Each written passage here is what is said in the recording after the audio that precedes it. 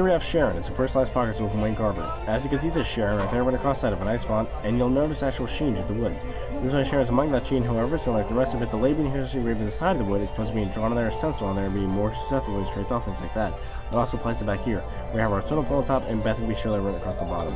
Inside the pocket tool, we have one file, one knife, and one pair of scissors. And just in case you're ever interested, you should come check it out at the Bethany Trading Company or across the street at Kites, Tails, and Toys, all for $5.99. You won't be disappointed.